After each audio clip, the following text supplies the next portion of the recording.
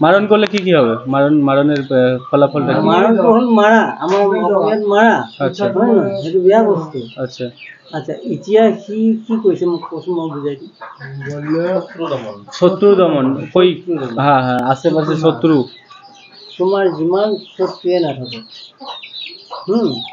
তোমাক ভাবিছে কি ইয়াক এই বাটত আহিলে ইয়াক ডেগাৰ মাৰি দিম। আমি একটা কবচ দিলে। হুম। সেই কবচটা তুমি পিন্ধিবে কবচটা পিন্ধি যি শত্ৰু আছে হ্যাঁ হ্যাঁ। সিহঁতে দেখিবে? হ্যাঁ। কিহৰ কাৰণে এই মানুহটো মাৰিব লগা সিহঁতৰ মাজত হাই কাজিয়া লাগিব। আচ্ছা। কিন্তু তুমি বাচি যাবা। এই আচ্ছা। বস্তু আমাৰ হাতে আছে।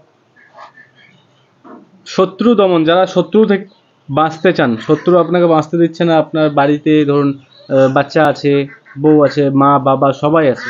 ঠিক আছে? আপনার মানে ভরা সংসার। ঠিক আছে?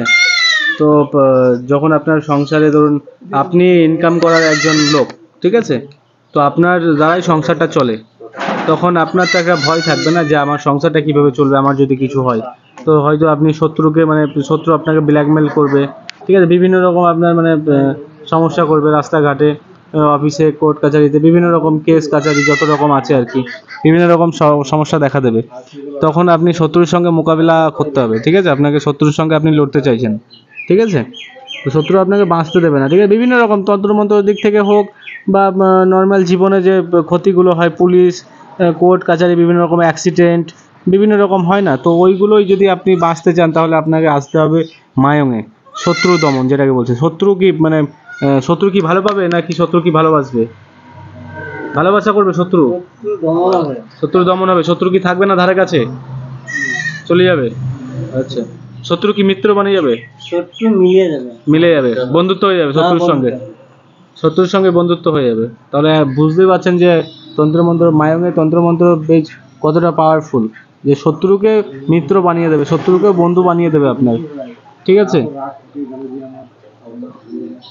কি করে রাগ থাকে? রাগ থেকে যাবে কিন্তু ও তো শত্রু তো কোনো কথা বলবে না না? আমার শত্রু সে আমার বন্ধু মানে আমি ওই করালাম কাকাকে আমার বন্ধু হয়ে গেল। কিন্তু আমার মনে মনে তো রাগ থেকে গেল তার উপরে তুমি বুজি পোৱা নাই।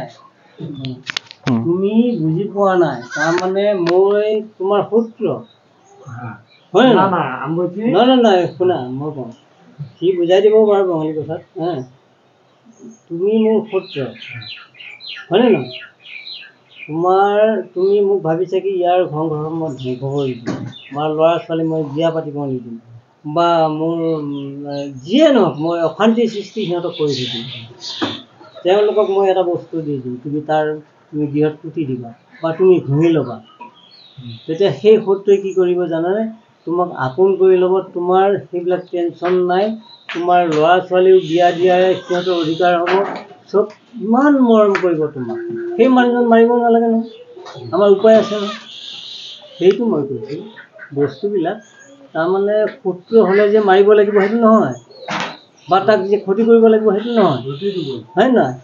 কিন্তু তোমাৰ লগত শত্ৰুজন যদি মিলি যায় কিন্তু তুমি চাবা তোমাৰ কিমান উপকাৰ।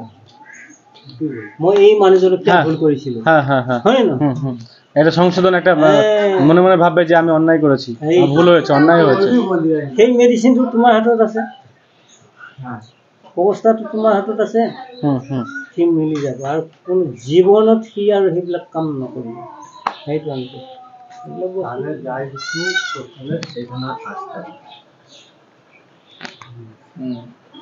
হাও কাম মানে হৈ যাব। তন্ত্ৰ মন্ত্ৰ যিয়ে কাম নহওক। মানে এই খগেশ্বৰ খুৰাৰ ওচৰত আহিলে চব কাম হৈ যাব। মানে কোনোবাই যদি তন্ত্ৰ মন্ত্ৰ কৰিছে কাৰোবাক আৰু যোনে যি কাম নকওক যিয়ে নকওক তন্ত্ৰ তুমি বাংলাতে আপনারা যে ধরনের কাজ মানে নানান রকম সমস্যা মানে বশীকরণ বলুন তারপরে বিচ্ছেদ বলুন ঘরের কোনো সমস্যার কাজ বলুন যাই করবেন আমাদের কাকা বাবুর কাছে আসতে হবে তারপরে কাকা বাবু কাজটা করে দেবে। ঠিক আছে?